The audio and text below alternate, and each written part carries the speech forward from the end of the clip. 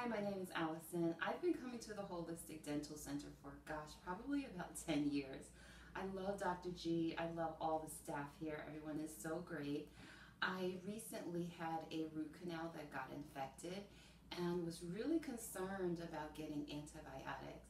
Dr. G was great. Um, he said to me, Allison, don't worry about it. We have a intravenous doctor, uh, intravenous antibiotic that you can get, and um, it's more more beneficial to your gut, which I knew. And so I was so grateful to Dr. G for saying that to me. Um, and he said, you know, this is the same treatment I did with myself. So I just love Dr. G. Dr. Chen is the one who actually did my extraction and implant, and he was amazing. Um, the whole experience was amazing the intravenous antibiotic and the intravenous vitamin C before the extraction was awesome.